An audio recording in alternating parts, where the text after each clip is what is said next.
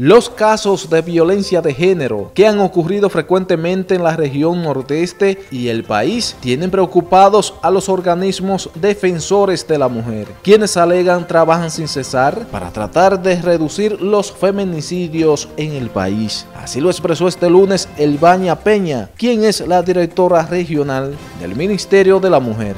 Porque nosotras realmente estamos representando a las mujeres en los tribunales a las que nos llaman. Y también nosotras estamos trasladando a las mujeres a las casas de acogida. Precisamente en esta semana que pasó trasladamos una de Salcedo, dos de Cotuí, una de aquí.